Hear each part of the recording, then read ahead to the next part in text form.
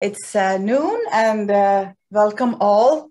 Uh, it's my honor and privilege to introduce a long-time friend and colleague, Dr. Mala Venkatesan, to you today. Uh, having gone through our master's degrees together, we went our separate ways, she to obtain a PhD in biochemistry from the University of Pittsburgh, Pennsylvania.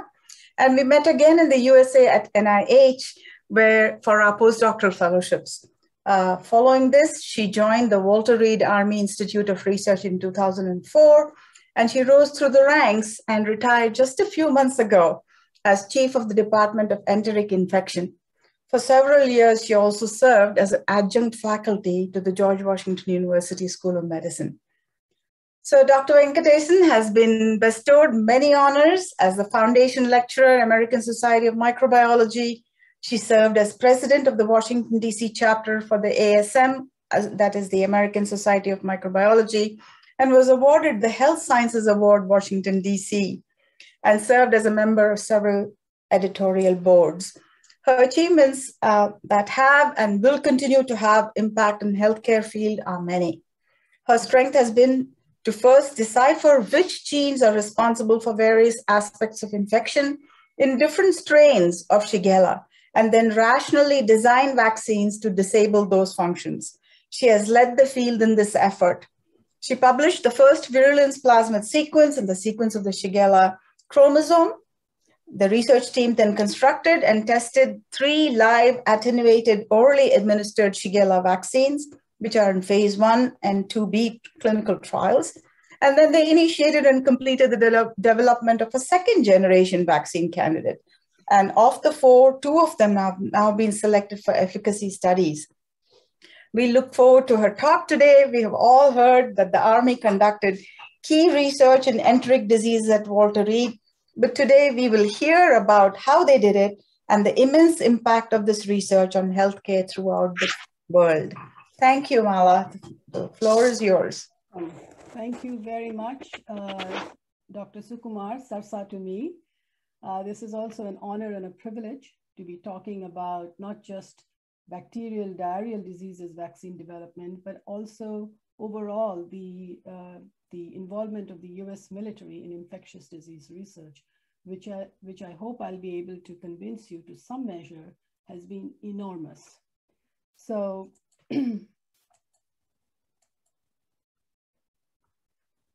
Sam, if you can put the microphone closer, that would be helpful, Mala. The microphone closer. No, I'm trying. Okay. Also, uh, Dr. V, you can control anytime you want. I already okay. hand control it. I'm ready to do that. Okay. So let's skip through these first few slides. I don't know why I'm having this problem. It's not moving. Okay. So the obligatory slides.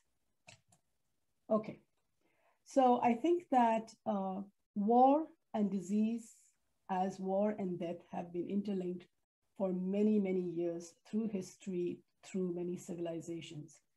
And uh, in this slide, you have a few interesting uh, observations by people. For example, dysentery in World War I, uh, millions of people died of dysentery, soldiers uh, across both sides. Uh, and I particularly liked the American Revolutionary War uh, uh, quote at the bottom, which said that the surrender of Lord Cornwallis to George, General George Washington at Yorktown in 1781 was responsible for actually bringing an end to the American Revolutionary War and uh, the signing of the Treaty of Paris, and of course, to the formation of the United States of America as we know it. So, uh, as I said, disease and war have played a huge role in, in, in our history. So, until World War II, in fact, deaths due to infectious diseases outnumbered those due to direct combat injuries. Isn't that interesting? And why is that? It's because new recruits are trained in groups under crowded conditions, increasing the risk of spread of infectious agents. Deployed soldiers may come into contact with pathogens with which they have no prior experience and therefore no immunity. And warfighters, along with others, may face the intentional use of weaponized infectious agents.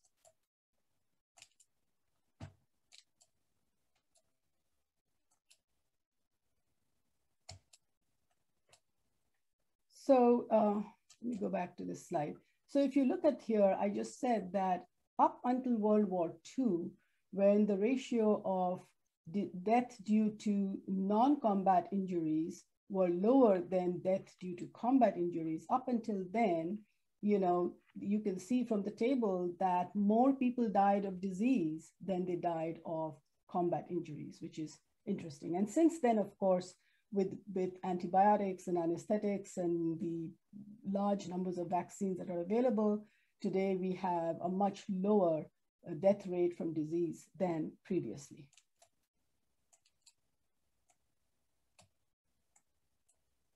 So another interesting fact here is that the US military is second in public and private sector contributions to vaccine research and development.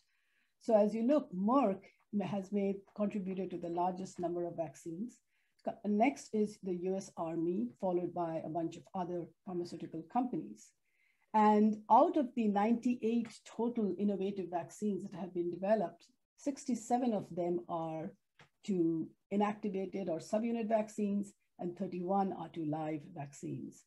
And among the viral vaccines, influenza, adeno, and poliovirus account for almost half of those.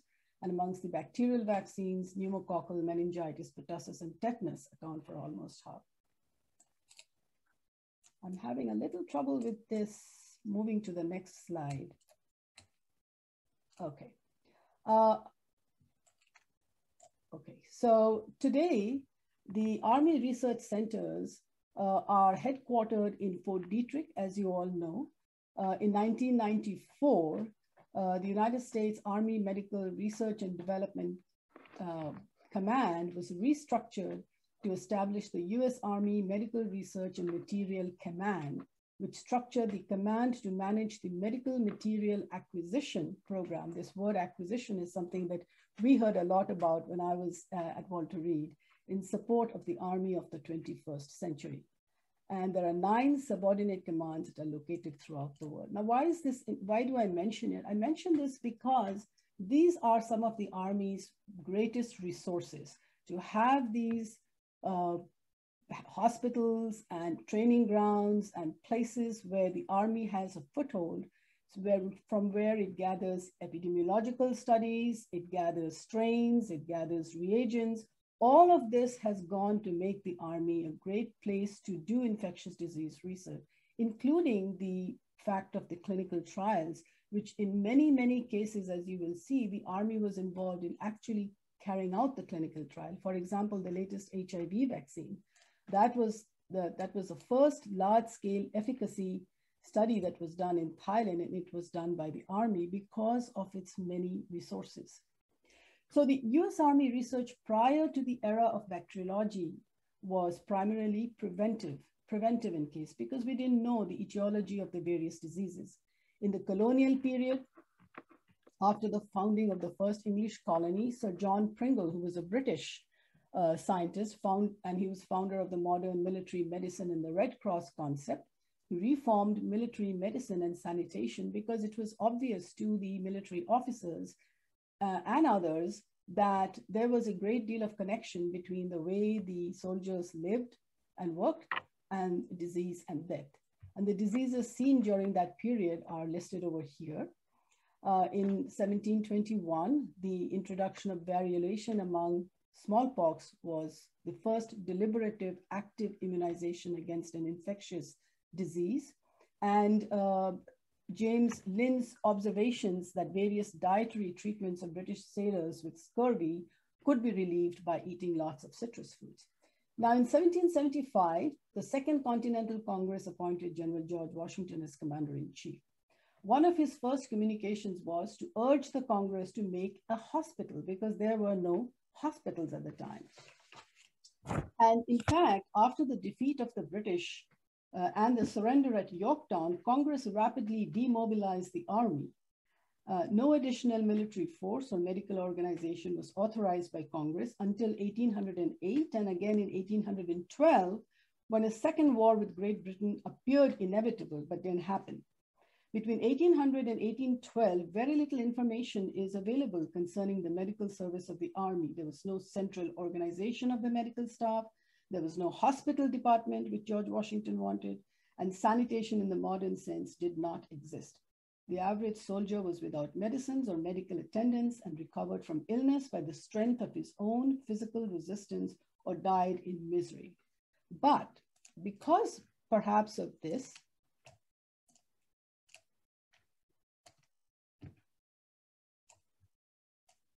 Sam, can you advance it to the next slide? Okay. Because of this lack of, uh, you know, real medical develop, I mean, medical developments, uh, there were two outstanding things that happened. The first American medical book was written in 1775, and the first American pharmacopoeia was written in 1778, and both were written by military officers. The, the American medical book was written by John Jones, who was uh, inspired by Sir John Pringle, the person I mentioned in the last slide. And this was published in America for the young military surgeons of the Continental Army. And uh, the people who were very much involved with the help of the soldier was General George Washington himself, uh, Major General Baron Steuben, Benjamin Rush, and Dr. James Tilton. These are all very uh, important names in the field of the United States Army and preventive medicine. Uh, and the first American pharmacopoeia also was filed by uh, American medical officers as early as 1778. And among the prescriptions were three preparations of Peruvian bark for use in the treatment of intermittent fevers. This is a very important observation because this Peruvian bark eventually was what was used to extract quinine for malaria in Europe. Uh, the Peruvian bark were used by Andes uh, Indians for uh, treatment of intermittent fever. But as you know, malaria also goes through intermittent fevers. And so they tried it and it actually worked. So uh, another astonishing thing that happened during this time was that the, uh, in 1818, the Surgeon General provided medical and scientific books for surgeons at army posts, and he retained one copy for himself. Well, eventually this collection became the great library of the Surgeon General's office, and later, this vast collection of books and journals, documents, and manuscripts became the National Library of Medicine, which came under the administration of the Public Health Service. So in 1777, something remarkable happened. Uh, the United States uh, decided to introduce a vaccination with variolation compulsory for recruits for smallpox. This was a first. And if you know, smallpox was a great cause of thousands of soldiers and thousands of civilians dying. Uh, smallpox was generally prevalent in the Continental Army during the first two years of the Revolutionary War. In 1776, hundreds died for it. Now, Dr. Benjamin Rush was a great advocate of this vaccine, this process of vaccine. And so he told George Washington to promote inoculation or variolation, which means taking the infected wounds from one person and putting it in the other. Now, later, Edward Jenner in 1798, you've all heard about him, he published the account of his discovery that active immunization of man against smallpox could be attained by artificial induction of cowpox, which is a variant of variola, which causes smallpox in humans. And so around 1812, vaccination with cowpox became a generally accepted method for the prevention of smallpox among both military and civilian personnel. This brilliant success of the smallpox vaccination inspired the concept of eradication of communicable diseases later. So these are some pictures from the CDC, and you can see what a horrible disease it was.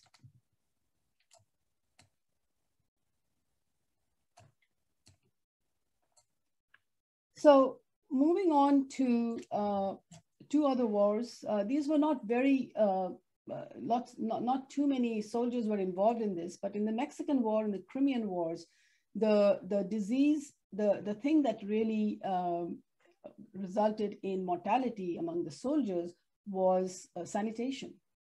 Uh, so you can see here in the Mexican War, there were seven deaths of diseases of the camp to one death caused by battle injury. And the main disease during the Mexican War was dysentery. This was followed by, by the Crimean War, where it was fought mainly by the English. And again, immeasurable suffering resulted from shortages of food, clothing, and shelter, and from sickness due to dysentery, cholera, scurvy, and typhus fever. And you can see that no matter which war it was, diarrhea and dysentery were a scourge for the soldiers because they lived in horrible conditions. They lived in crowded trenches. They used to have trench fever. Uh, they used to get infected. The infection would pass from uh, person to person. And at the time, people used to think this was all due to, uh, you know, bad air or mal air. That's how malaria, the word malaria came from mal air or foul air. And, uh, you know, the most versatile thing that came out of the Crimean War was Florence Nightingale. Uh, she created the modern profession of civilian and military nursing. And she also had uh, lots of things to say about public health and hygiene, hospital construction and management, medical statistics, and Indian and colonial health and welfare. And her work in the public health outnumber, I mean, actually have far wider implications than her work for nursing.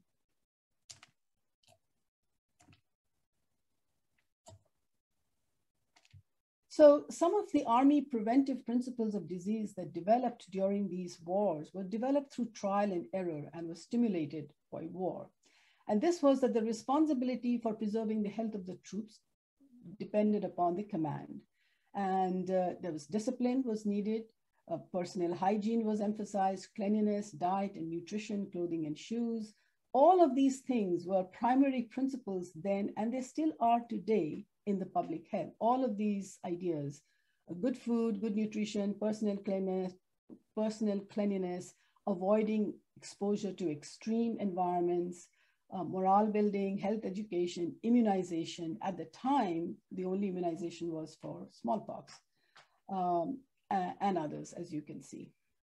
And this preventive principles of disease was uh, actually influenced by a sanitary movement that was first started in Britain, but then came to America.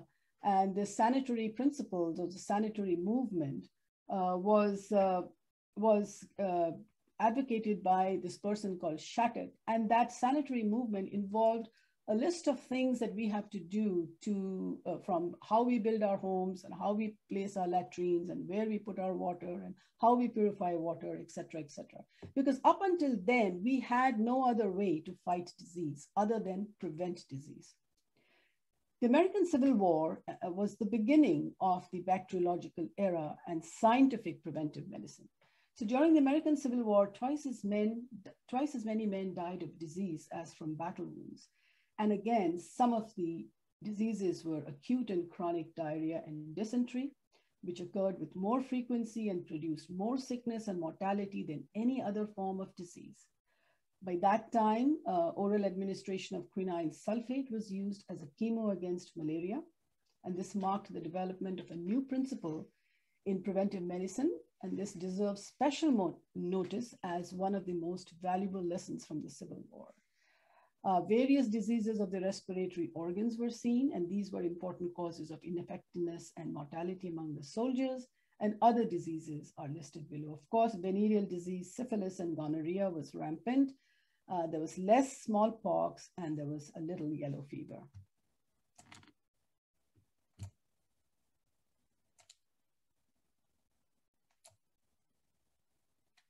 So we then come into the into the era when these three great giants of uh, science uh, worked: uh, Louis Pasteur, Robert Koch, and Joseph Lister. Louis Pasteur, who described the germ theory, which was that every disease has a germ associated with it, basically.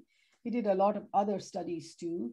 Uh, and he also discovered that attenuated chicken cholera could protect against a virulent strain in an animal model. That was a very important observation at the time.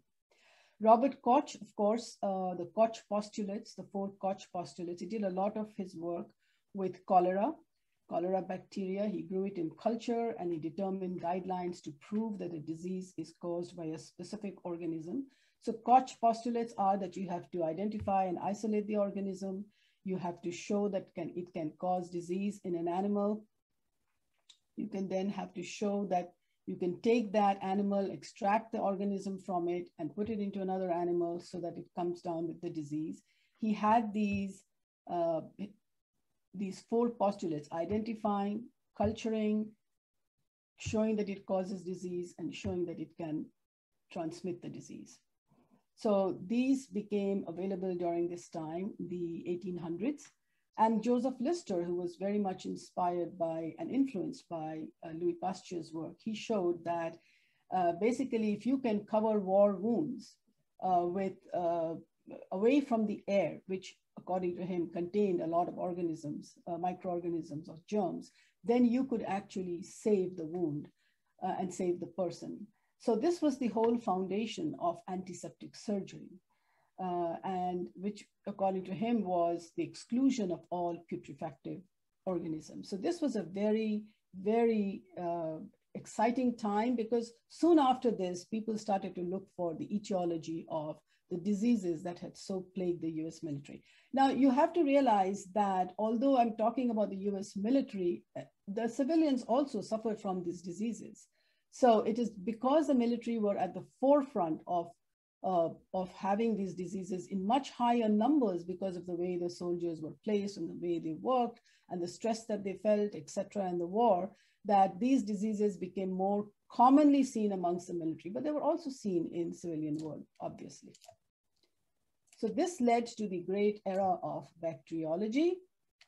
During this time, several other things also helped uh, the use of ether as a general anesthetic, followed by the uh, testing of chloroform, which was complete success. So ether and chloroform came so you could anesthetize um, uh, soldiers. Uh, Theobald Smith showed that toxoids against diphtheria can protect in guinea pigs. So toxins were known, but they didn't know how to uh, treat uh, toxins. Uh, Ernest Goodpasture introduces the use of Helen chorioallantoic membrane to cultivate virus. This was very important. In fact, uh, the influenza vaccines later on used this Helen allantoic membrane to culture viruses. Uh, later, uh, novel cell culture techniques to grow viruses came into being, uh, was, uh, was published. And I put in Rachel Schneerson and John Robbins because they developed the first conjugate vaccine, but that led to a lot of better vaccines made for several diseases. So all of this, the development of anesthesia that was very important for the US military, and they were going on simultaneously or a little before or after the bacteriological era.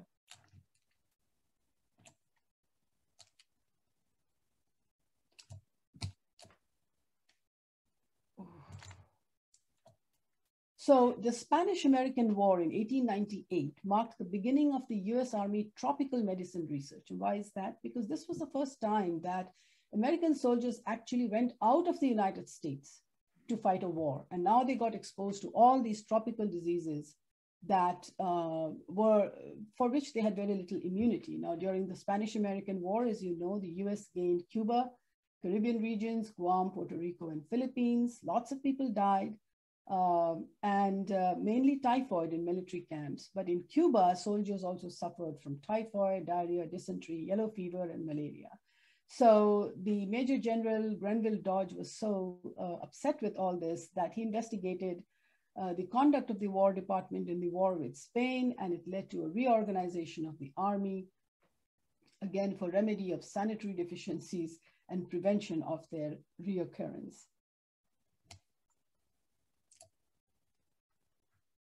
Two great names in uh, military research, Brigadier General George Miller Sternberg, who was the 18th Surgeon General. He wrote the first manual of bacteriology in 1892, and he created what is known as the Walter Reed Shakespeare Vaughan Typhoid Fever Board. This board confirmed the fecal oral transmission of typhoid and determined that more soldiers died from typhoid than from yellow fever or battle wounds. In 1900, he formed the Yellow Fever Commission, headed by Major Walter Reed, who was his protege, which confirmed and extended earlier work on yellow fever transmission, which was shown to be due to mosquitoes. Together with Walter Reed, uh, Colonel Sternberg, General Sternberg, established the Army Medical School, which is now Walter Reed Army Institute of Research, and the Army Nurse Corps. Now, Major Walter Reed joined the Army and then became the first professor of bacteriology and clinical microscopy at the Army Medical School, which had newly opened.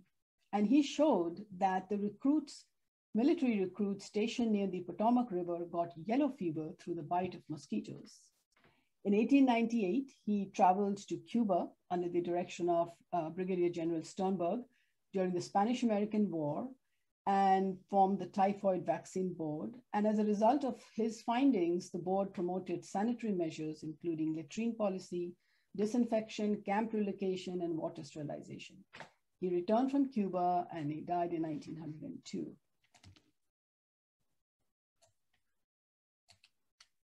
Now, the work of Walter Reed uh, really led to the yellow fever eradication, which was a key to building the Panama Canal. As many of you know, uh, yellow fever is a systemic viral disease and it's endemic to sub-Saharan Africa. And at the time, it was endemic even to uh, Central and South America. Uh, and it caused an epidemic disease in, in American occupied areas and it destroyed the French effort to build the Panama Canal because of the disease. It infected, uh, it infected everybody who was around the area where these marshes had abundant mosquitoes that were spreading this disease. So uh, the Yellow Fever Commission, which was headed by Walter Reed, showed that this agent that was causing the disease was a filterable virus transmitted by mosquitoes. And in 1903, under the guidance of Major William Gorgas, who later became the 22nd Surgeon General in Cuba near the Panama Canal zone, he eliminated YF by destroying the marshes and destroying the mosquitoes. Uh, and he did so in 16 months. So later, uh, Theiler and Smith at Rockefeller passaged yellow fever virus in chick embryos and got an attenuated strain for vaccine development.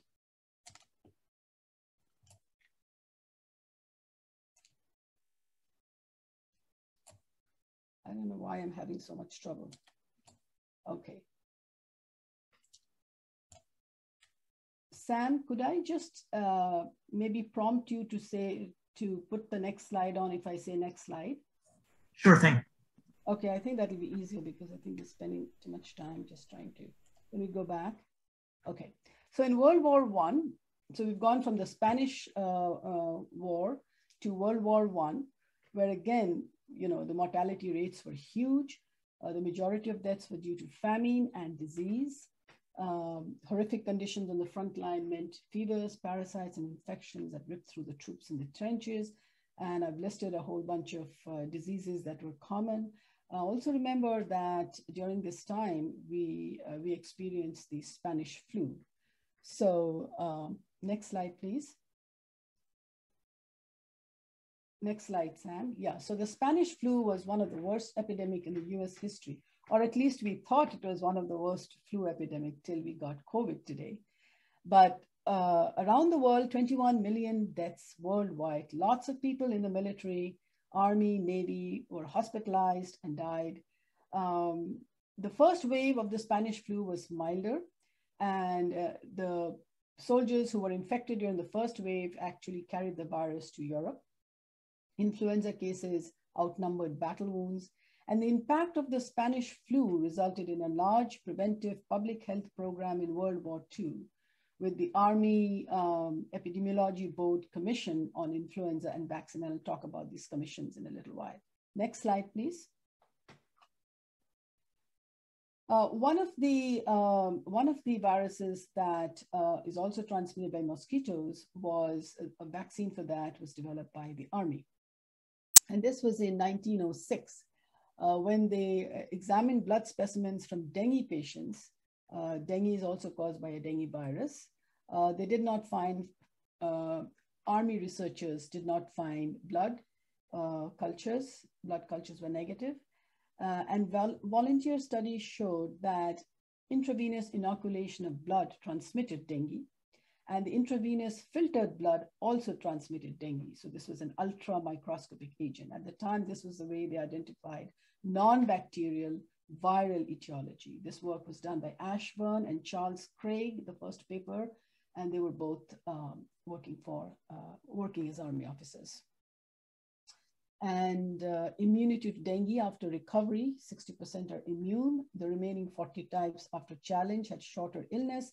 These sorts of studies led to the current dengue vaccines, which are being developed against four different serotypes of dengue. But these studies have been going on for a long time, and the Army is still involved in doing, and there is no dengue vaccine as such. So the Army is still involved in working on both inactivated dengue vaccines and live dengue vaccines. Next slide, please.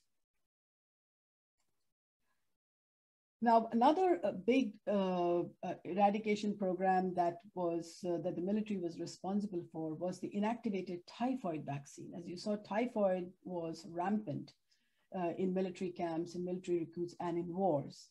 So, um, in uh, there was a killed typhoid vaccine. The first one was made in UK.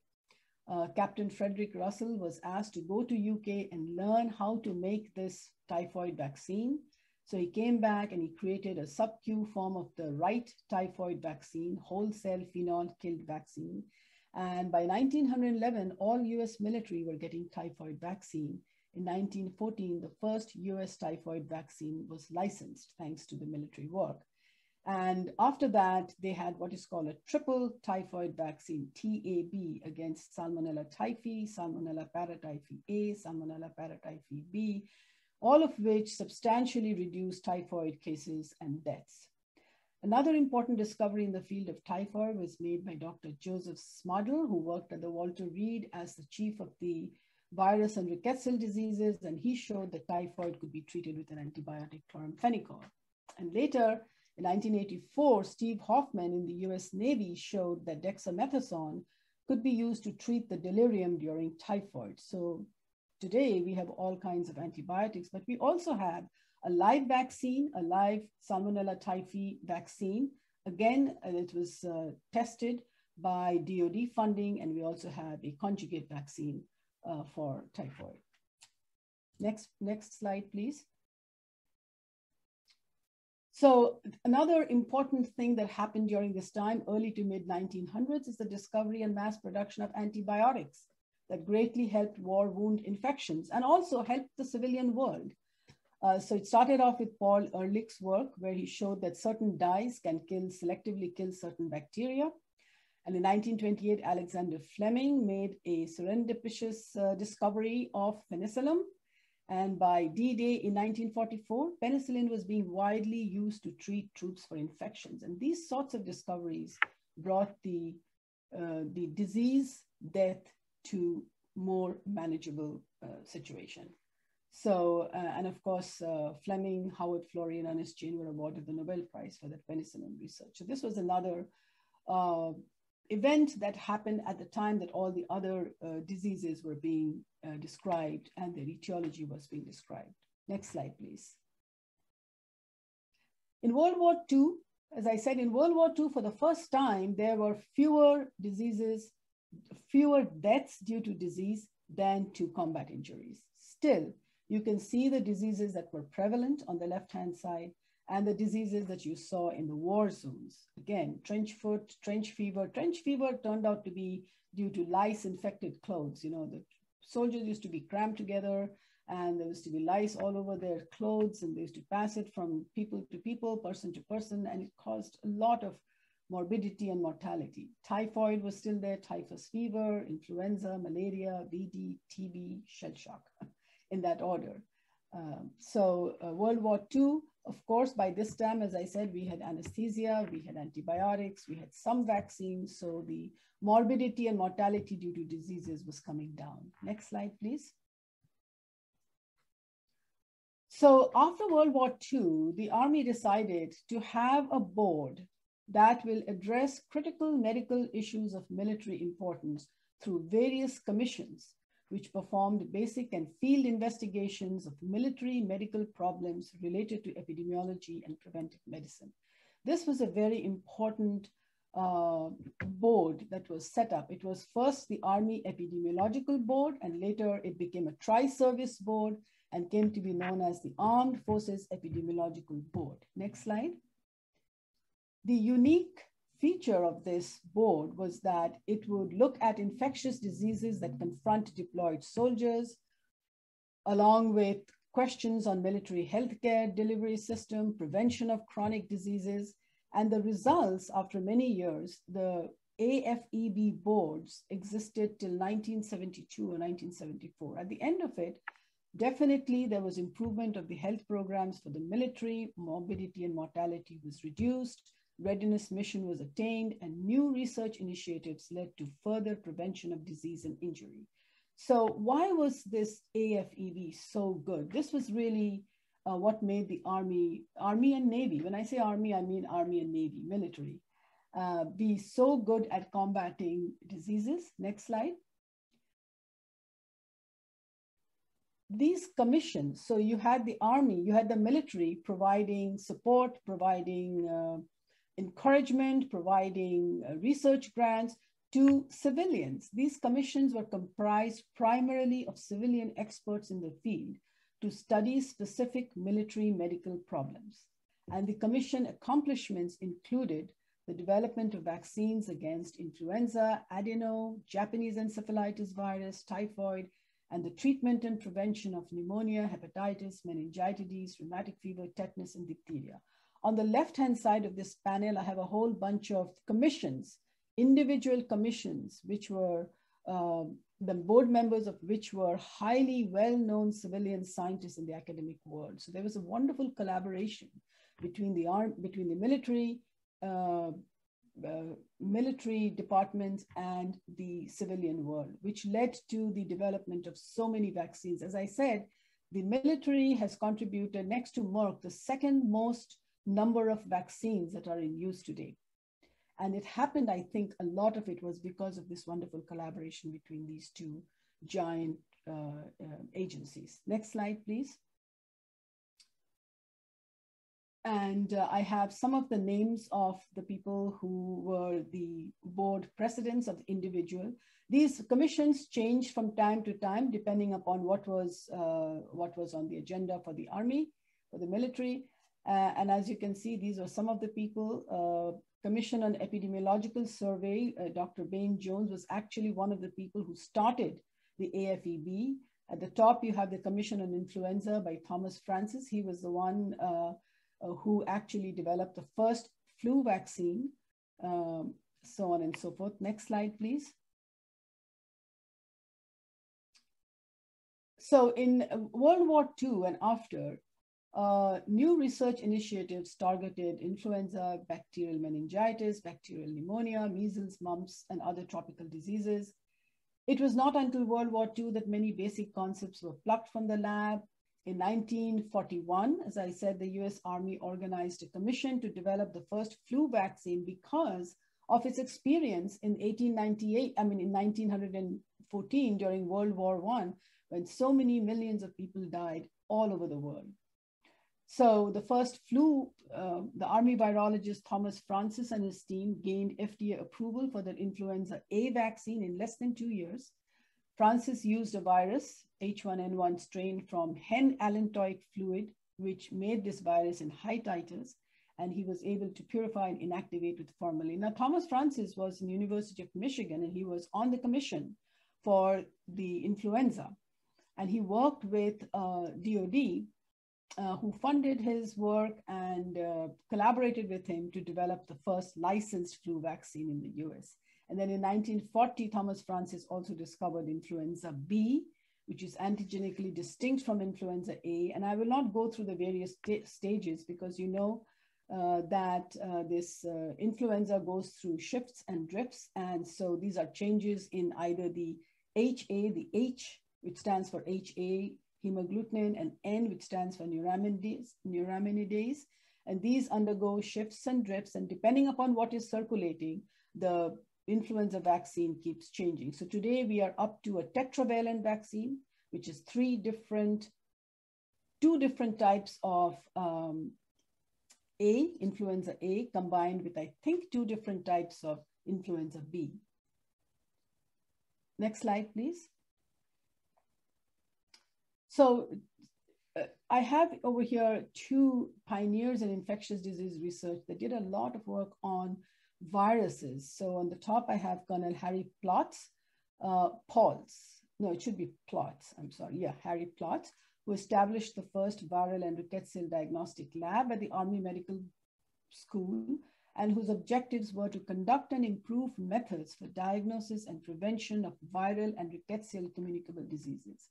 And so diagnosis of influenza, aseptic meningitis, the various equine encephalitis, rabies, polio, mumps, and measles. We had diagnostic kits for all of them.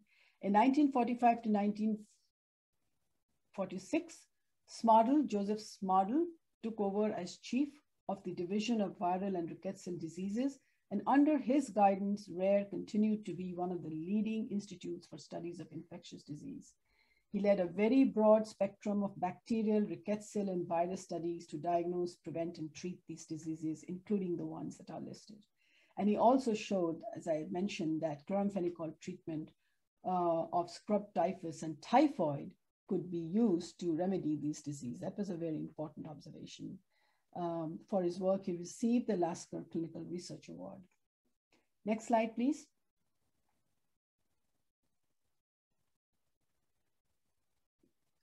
So uh, I'm not going to go through this in detail because I just talked about it, but I have this slide in case uh, there's some people who want to know how the different types of influenza vaccines came into being. Next slide, please. Uh, another vaccine that the US military helped to develop from the beginning, in other words, in other words, identifying the organisms to the development of the vaccine is the meningococcal vaccine. Meningococcus is a bacteria and it's an important cause of bacterial meningitis and sepsis. Five serogroups are responsible for nearly all invasive meningococcal disease. And in 1968 to 72, there were three authors, three uh, strong investigators at Walter Reed, Gotschlich, Artenstein, and Goldschneider. They published five papers uh, describing research that led to vaccines against meningococcus serogroup A and C polysaccharide-based vaccines. Uh, and again, I, I'm not going to go through all of the, of, the steps that led to, but in 1974, the FDA licensed three vaccines for limited use only. And in 1978, the military was routinely using the bivalent serogroup A plus C vaccine for meningococcal. Now, today we have a tetravalent meningococcal vaccine against four of the five serogroups. Uh, in 1999, the polysaccharide based vaccine was, uh, I won't say replaced, but we had a polysaccharide conjugate vaccine, which was uh, introduced in the UK. And uh, today, uh, FDA has licensed protein polysaccharide conjugate vaccines against the four serotypes. Now, when I was in uh, Walter Reed, they were trying to make a vaccine against serogroup B, which has been very difficult because serogroup B has certain antigens that have molecular mimicry with certain human antigens. So it, it took a much longer time, but I think now Pfizer and Merck have two vaccines against serogroup B. So meningococcal vaccine is a great uh, victory for military research. Uh, and one of the things that I would like to say is that when I say military, you know, it's a huge agency. It has lab, scientific labs where things are discovered, investigated, proteins and viruses are characterized, animal models are built up, etc., etc. Then it makes a vaccine that it thinks is going to work. Then it can test them in animal models. It can manufacture because the uh, army had its own manufacturing capabilities. And then the army has this enormous uh, resource to test vaccines in clinical trials, in small phase one studies, in phase two studies, and in large phase three studies, as the recent HIV vaccine showed. And this requires a team. Vaccine development requires a huge team. It's not just, as you know, just in you know identifying something at the bench and, and then not doing anything. It requires a huge team and it requires resources, it requires reagents, it requires collaborations across uh, many, many different disciplines, uh, all of which the United States military has in abundance and it and it shows and i think is one of the main reasons why it has been able to develop so many vaccines today next slide please just uh, two pictures i should have had a picture of the current walter reed but on the right hand side this is the walter reed where i spent the first 15 years of my life. Uh, it was a beautiful building, but an old building. And then the Army Research, Walter Reed Army Institute of Research, and the Naval Medical Research uh, moved into one building uh, off of uh, Forest Glen. I'm sorry, I have pictures of it, but I don't have pictures of it here. Next slide. Another thing that, another vaccine that the army should be, that the military should be very proud of is the live oral adenovirus type 4 and 7 vaccines. Uh, again, uh, it caused 70%, adenovirus caused 70% of respiratory illness in military recruits. The inactivated virus vaccine was licensed by Hilleman and Bob Chanock at NIH, along with DOD, helped showed that adenovirus will induce an asymptomatic immunizing infection when administered live by the enteric route. This gave rise to the first oral live adenovirus type 4 vaccine, which was safe and highly effective in military recruits. And subsequent trials revealed the need for type adenovirus 7 and possibly a need for a type adenovirus 21. So uh, the combined vaccines, type 4 and 7, have been tested by the military in uh, several phase 1 and phase 2 trials. Uh, and then a live adenoviral vaccine was prepared and tested uh, and were approved by the FDA in 1980. And uh, the Wyeth was actually manufacturing this vaccine. Uh, it was very important for reducing uh, respiratory illness in military recruits but then Wyeth stopped. And in 2000, uh, the manufacture of the bivalent type 4 and 7 was resumed when DoD gave the contract to Barr Labs, which is known as Teva today. And in 2019, FDA again approved the new live adenoviral 4 and 7 vaccine. And this is, an, again, an example like the, uh, like the uh, flu vaccine or the dengue vaccine of the resources that the military has to do these vaccines, to make these vaccines, to develop these vaccines as needed. Uh, next line, please. So another vaccine that the military research should be very proud of is the hepatitis A virus vaccine. So the viral etiology, and this, this uh, vaccine was almost, the work was almost done by the military researchers from almost the beginning to the end. So uh, they identified the hepatitis A virus, they showed it to grow in cell culture, they developed an owl monkey model and a radio immunoassay in cell cultures for infectivity titration that was very important. Uh, they then cultivated in suitable cells for vaccine production. This was done by Lenny Binn. Lenny Binn is still around. I'm very glad to say uh, he's uh, 90 plus, but he still shows up at the lab every day. and uh, so they made a inactivated HAV vaccine, hepatitis A virus vaccine. Uh, and uh, in 1995, um, FDA approved the first HAV inactivated vaccine that was made in cell culture. In 1996, it was approved for human use. All of this was done mostly by dollars from the DoD by the military. Next slide, please. Maurice Hilleman uh, is often known as father of vaccinology. He spent a few years at Walter Reed and he demonstrated the shift and drift of influenza virus. After he worked in Walter Reed, he went to Merck. And from what I understand, the lessons he learned in the military in those years, that is that you have to tell scientists to work on the vaccine or else was very important for him because when he went to Merck, that's exactly what he did. This, these are the stories that we've heard about him. He was prolific. He contributed to the development of over 40 vaccines. Some of those vaccines at Merck was done in association, like the meningococcal vaccine was done in association with, uh, with the Army, but he was, again, a huge figure in vaccinology. Next slide, please. So the question is, you know, military research made significant contributions to eight of 14 new vaccines licensed in the second half of the 20th century. How did it do it and why did it do it? So not only did it make six, uh, significant contributions to new vaccines, it also contributed to improvements in several vaccines, including influenza, combined diphtheria tetanus, cholera, smallpox, typhoid. Next slide, please. So why? It, because military needs drove vaccine development. Wartime programs like the Flu Commission developed or improved a total of 10 vaccines for diseases of military significance, some in time to meet the objectives of particular operations. Now, some of these vaccines may be crude by today's standards, but they set certain uh, guidelines for improved vaccines to come. And uh, for example, uh, there's an example here, botulinum toxoid was mass produced prior to D-Day in response to a faulty intelligence that Germany had loaded V1 bombs with the toxin. Japanese encephalitis vaccine was developed in anticipation of an allied land invasion of Japan. So military needs drove vaccine development. Next slide.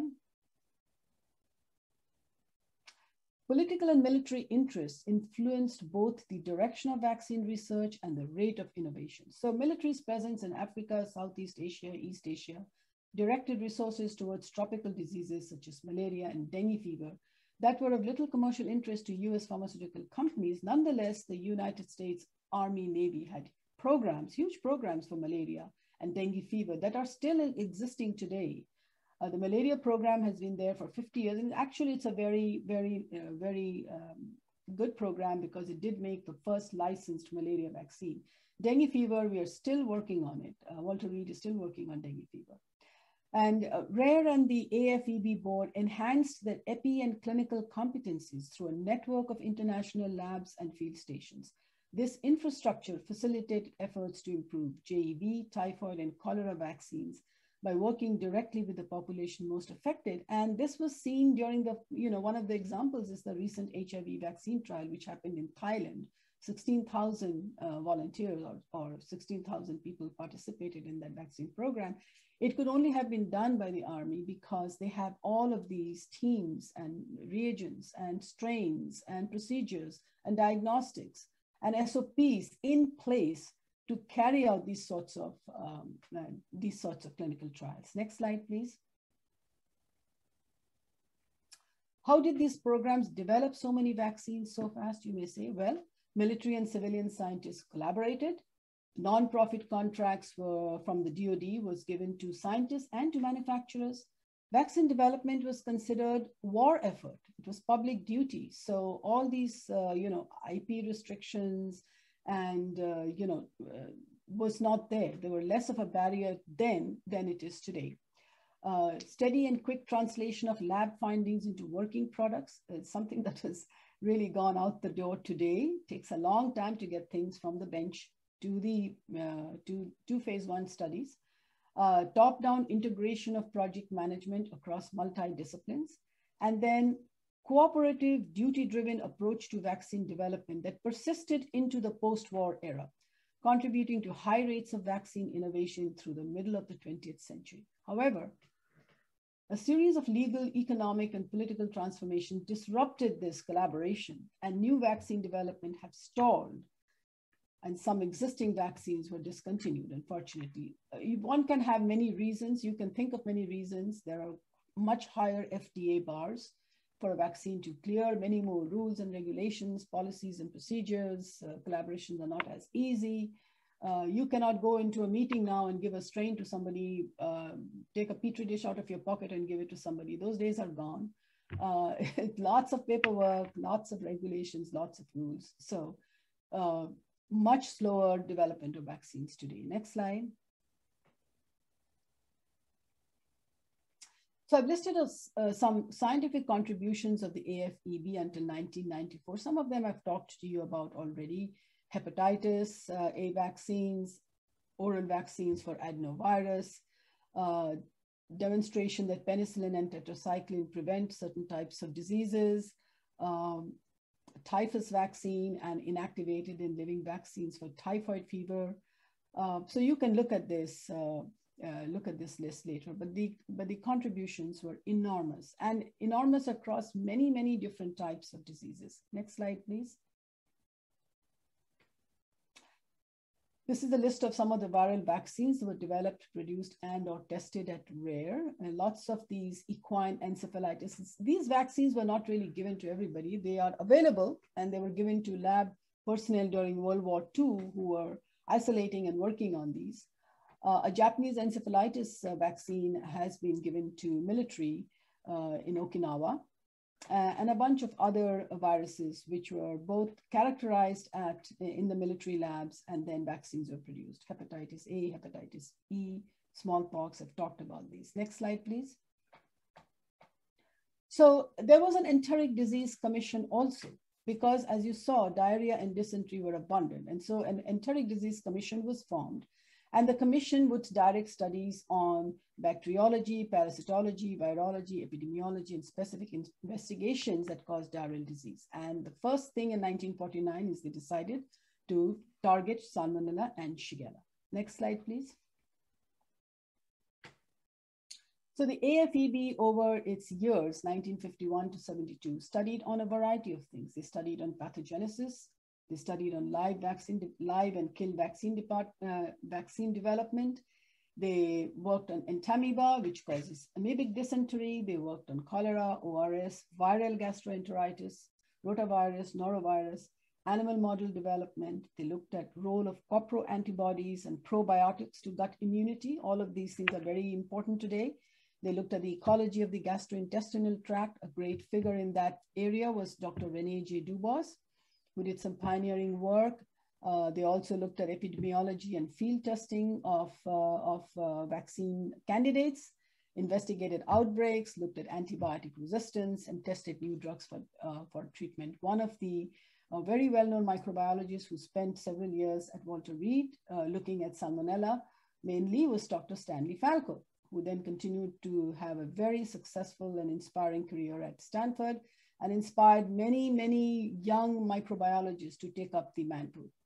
Next slide, including me. Next slide, please. So cholera. Cholera was another success case for the military. As you know, cholera is caused by a bacteria called Vibrio cholerae. Uh, it can enter and it releases its toxin, cholera toxin, which then enters the cell. The toxin enters the cell and causes um, uh, the release of water and electrolytes. So the, the Army uh, did a lot, of, the US military, and here the Army Navy uh, did a lot of work on the eradication of cholera, or at least the, the treatment of cholera.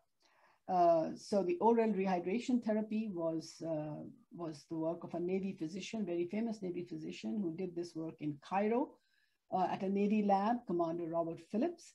Uh, and today, oral rehydration solution has brought down the mortality due to cholera by almost 90% uh, in places where it is used properly. Uh, this is again a remarkable success story because cholera. I mean, I know of my uh, you know relatives uh, two generations ago who died of cholera.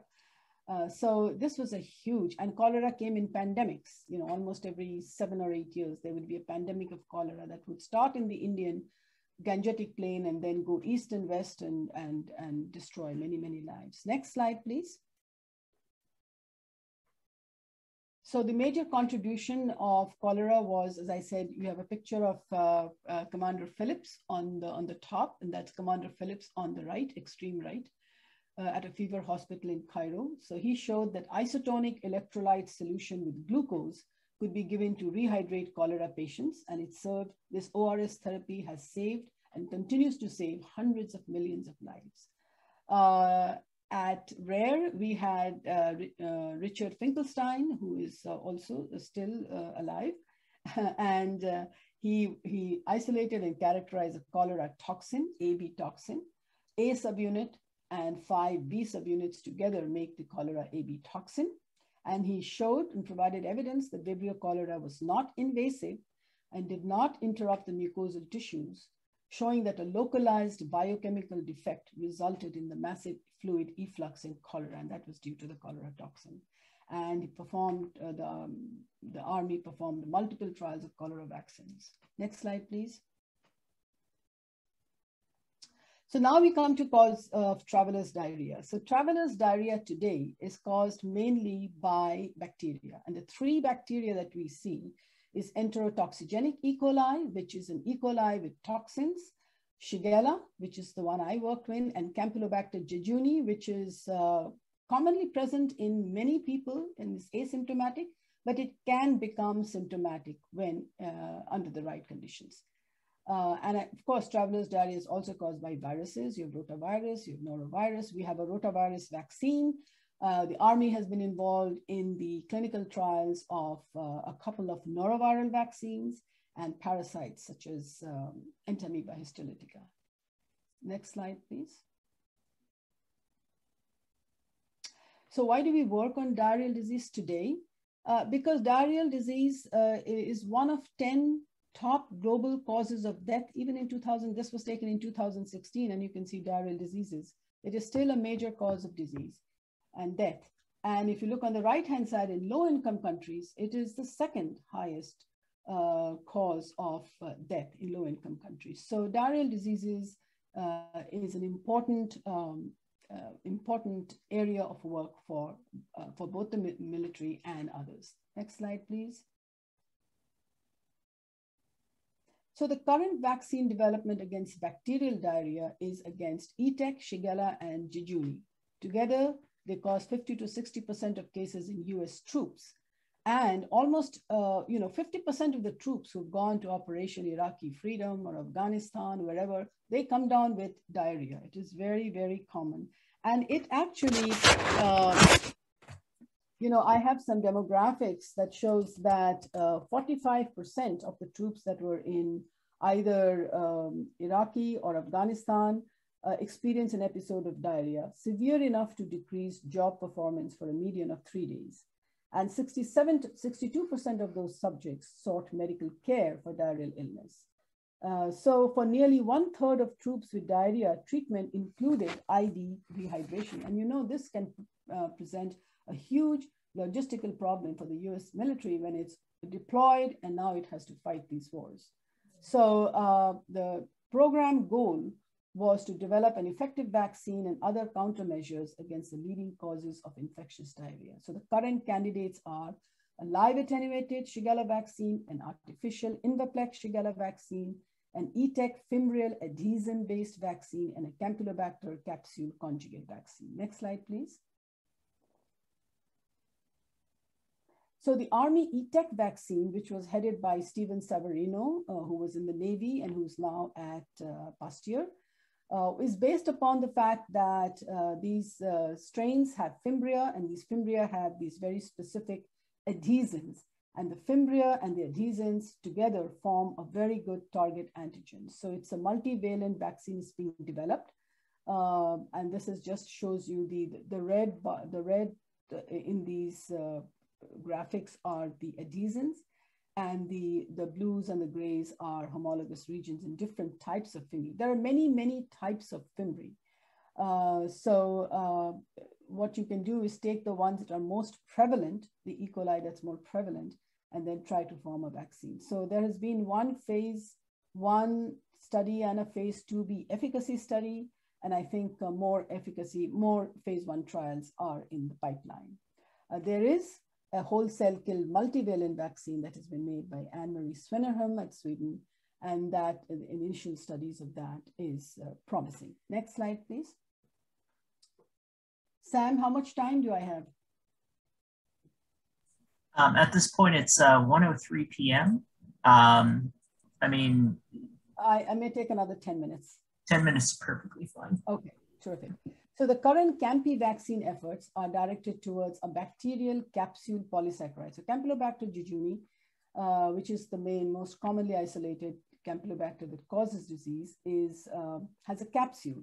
And the capsule is the one which forms the target for the vaccine. So uh, a capsule vaccine has been manufactured and it will undergo trial in the near future. Next slide, please.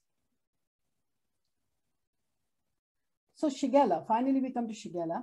Uh, so Shigella is a terrible disease because it causes dysentery and those uh, in my lab and in other labs at Walter Reed, once in a while people do come with this, come down. It's a very low infectious dose.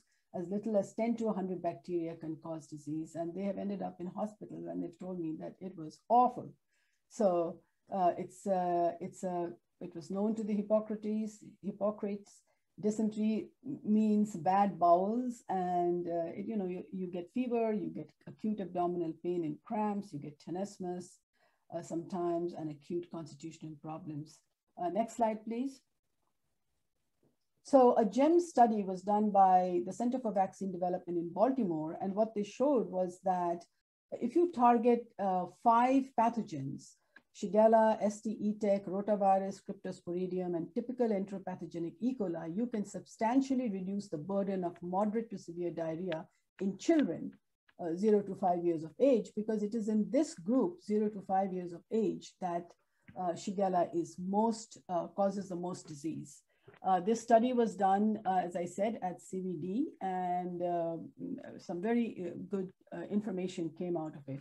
So today, uh, if you look at the Shigella that is prevalent in the world, I think there's a consensus opinion that a tetravalent vaccine against three different subtypes of Shigella flexneri and Shigella sonii, which has only a single subtype, is what is needed for a tetravalent vaccine.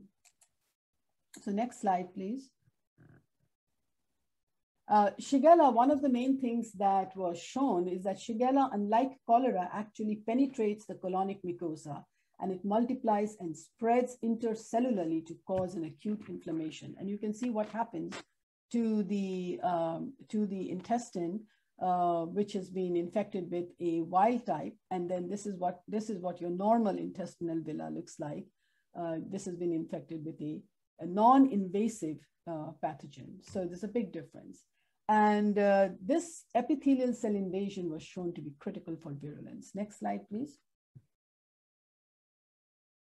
So the person who really started it all and was a towering influence at Institute and, and elsewhere is Dr. Sam Formel, who did all of the early studies on characterizing Shigella strains, making antibodies to them, setting up animal models, including monkeys, showing that if you infect monkeys with the Shigella flexneri, you can protect against Shigella flexneri, but you cannot protect against Shigella sonii. These studies set down the hypothesis that LPS, bacterial lipopolysaccharide, which covers, which is on the outer surface of the bacteria, is responsible for the serotypic protection and also is an important antigen. And he did many, many different types of Shigella vaccines, live Shigella vaccines with mixed results. One of his proteges, Philippe Sansonetti, then came to study Shigella in his laboratory in 79 to 81, and he showed that a large plasmid is critical for epithelial cell invasion. And of course, once the plasmid was discovered, everybody jumped in and started to dissect the plasmid out. And today, we know almost the functions of many of the genes that are encoded on this, on this particular plasmid. Philippe Sansonetti actually went to Pasteur Institute and set up his own lab and became a huge uh, personality in the field of microbial pathogenesis. He set down many firsts that are still being followed in all of the other gram-negative and gram-positive bacterial pathogens. So he is a great inspiration to everybody working on microbial pathogenesis today. Next slide, please. So on this invasion associated, uh, on this large plasmid, there is a 31 kb region that is uninterrupted by any insertion elements, which is a very common feature on this plasmid.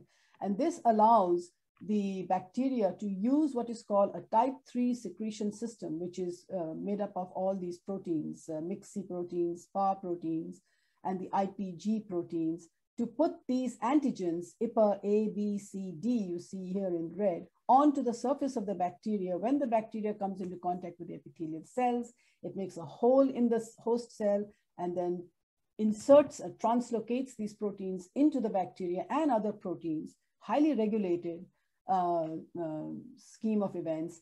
And then it starts to multiply. It comes out of the phagosome, multiplies, spreads, and causes disease. Now, there is another protein here, VIR-G, which is required after invasion. So it helps the bacteria to move around and to move from cell to cell. So next slide. Uh, I'm going to skip this slide. Uh, Ed Oakes is uh, somebody who showed that you could actually assay for this intercellular spread by doing a kind of a viral plaque assay. He did a bacterial plaque assay, and this is used, a very important assay for us to use to look for virulence and virulence mutations. So next slide, please. So what happens is that you see VIR-G recruits host actin filaments, forms a plaque, and if you put that particular strain into a guinea pig eye, you get a positive, very strong inflammatory reaction. We expect this is what goes on at the lower intestine and colon. If you remove the VRG, you get a negative serine reaction. So this became a target for a live Shigella vaccine. Next slide, please. So we made a first generation live attenuated Shigella vaccine by uh, the loss of VRG ICSA. We made it of three different serotypes. This one was actually made in Philippe Sansonetti's lab at Pasteur. He sent it to us. We manufactured it and tested it and showed that it is efficacious. And that was the first proof of concept for the VRG-based uh, vaccines. Uh, the WRSS1 and WRSD1 made from Shigella sonii and Shigella dysentery 1 were made and manufactured and tested by, um, by, uh, by us uh, here in Israel, in Thailand, in Bangladesh. Uh, and we have, uh, what we have learned from this is that, next slide, please. That these first generation vaccines worked great, but they needed a little bit more tweaking. There was a little bit, in 20% of the volunteers, we saw some fever and we saw some mild diarrhea, not lasting for more than 24 hours. So we needed to tweak these strains a little bit more. And by this time, we also came to know that on the plasmid, there were enterotoxins that were expressed. So we decided to go in and make a second generation vaccine. Next slide, please which now have the loss of VRG in all of them, but it also has loss of these toxins. And in order to reduce the fever, we also decided to modify the bacterial LPS, which as you know, is a very strong endotoxin and can cause the fevers. So we have now made a tetravalent vaccine, three different subtypes of Shigella flexneri, which are prevalent in the world, Shigella sonii, which is just a single subtype, and Shigella dysentery 1, which is the main epidemic Shigella. So we have two variations of each, and one which contains the LPS uh, modification and one which doesn't. And we took the Shigella sonii, and we recently completed a phase one study with SS2 and SS3 at Cincinnati Children's Health and Medical Center. It was safe and uh, up to 10 to the sixth CFU dose. We had a steering committee meeting and we wrote an, I, we wrote an IND and received FDA approval in April 2019 for an efficacy trial with WRSS2. This is being sponsored by DMID and NIAID. Next slide, please. So what are the alternatives to vaccine? Well, clean water, sanitation, hand washing, antibiotics, uh, they're trying some types of uh, non-absorbable uh, antibiotics. And more recently, uh, they're trying phage cocktail and also um, bovine gamma globulins. I, I, have to say this, that uh, last year, the Army decided to uh, stall the bacterial diarrheal vaccine program altogether. although we have these trials in place, and these will happen because they are being sponsored by outside agencies. But they stalled it because they said it's taking too long. And also because I think, as you can understand, warfare has changed. There are fewer people, fewer soldiers being sent to fight, and, and many other things that help to keep the soldiers safe. Uh, and so the army uh, decided to stop the Shigella vaccine, Campylobacter vaccine, ETEC vaccine program, and also at the same time stop the malaria vaccine program, which has actually been very successful. So these are things that the that uh, you know you get used to it because decisions are made based upon the needs of the military. And currently the needs of the military is to get something quick. So we are looking at bovine immunoglobulins, working with a commercial partner. Uh, we are injecting various strains of E. coli, CAMP, and Shigella into, into cows and extracting the uh, colostrum and testing those in monkeys and humans later on. Uh, next slide, please. Uh, these are some references. The next slide, please. Okay, next slide, please. So I'm just going to leave you with this, uh, with this slide. You can look at it. I've talked about most of the vaccines that uh, the US military has been involved in from uh, typhoid vaccine to flu vaccine, yellow fever, smallpox, Japanese encephalitis, plague vaccine, typhoid vaccine, dengue, adenoviral vaccine, hepatitis vaccine, recombinant CSP vaccine against malaria. Now, the malaria is a very interesting story. Malaria vaccine, the army does not get a whole lot of credit sometimes, uh, unfortunately, but I think the malaria vaccine could not have been developed uh, without the huge amount of work that people have put into uh, this field from all of the clinical trials, characterization of the RTSS protein, that is the main protein, that is the circumsporozoite protein, the protein on the surface of the sporozoites, which is then which is being used to uh, vaccinate people and get very good results. Uh, so that's a huge success story for the army. And of course, the first successful Shigella vaccine, which was that one that was made at Pasteur and that was tested here. So I'm going to leave you with this. And if you have any questions, I'm sorry I went a little bit over time. Thank you.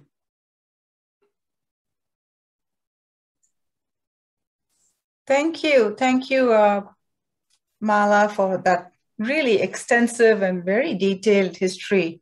Uh, very little of which I knew and very broad strokes. So this was very, very informative. One question I have is you uh, kind of went fast through the fact that the army was able to achieve such quick results um, because they had people, they had resources, etc.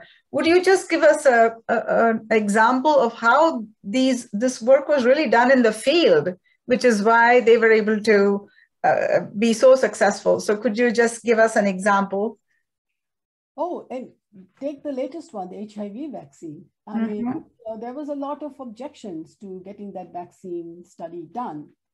Uh, as you know, at the time, I remember reading these articles in Science where there were people, all of the big wigs in HIV vaccine research said we should not do this study because we'll get nothing. And the army said, no, we're going to do it. And I think they can do this because, you know, they have all these resources. Uh, it is enormous to be able to do a vaccine trial in Thailand from researchers in the United States in 16,000 people. So you're vaccinating, collecting samples, uh, testing them, doing the immuno immunology in 10 different places, uh, 10 different types of immunoassays.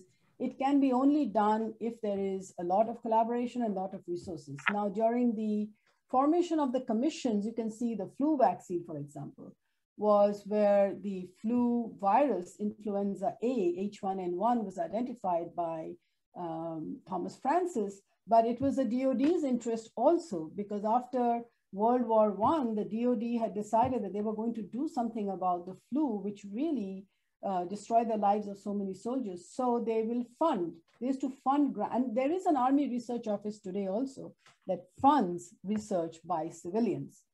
But I think overall, the, the effect is probably less today uh, because there are so many other people who are doing similar research. But it was the collaboration, I think, between the DOD at the time and all of these great civilian scientists uh, in academia you know, they used to meet together at various vaccines. Uh, these commissions would change. Sometimes they would overlap, uh, depending upon the needs of the army. So, and, and as I said, World War One, World War Two, uh, uh, they, they really inspired people to work collaboratively, which doesn't always happen so easily.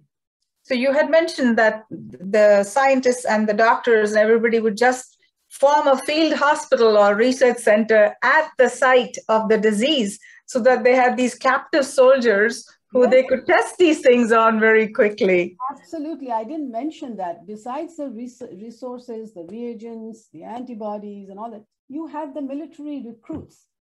I mean, all of the vaccines were first tested on those poor souls. and that, that is an enormous, enormous resource that few people in the academic world can afford because it's expensive. Right. It even requires management of a kind that is not easy to do across multi-disciplines. Right. We owe a lot to our military soldiers. Thank you very, very much. Any questions from the audience? If not, we've kept uh, Dr. Venkatesan here long enough and, and our audience too. Thank you for your patience. Any, any questions? I don't see anything in the chat box. Uh, so we will say thank you to you, Malavi, very much for this lovely talk. Thank you very much for inviting me, Sarsa, and I'm sorry I went a little overboard. That's that's okay. A lot of things to say. a lot of history to cover. Thanks. And also showing how how how good a work they have done. Yes. Probably better work in fighting disease than fighting wars. well, to our benefit. Thank you. Sure. Thanks. Bye. Bye.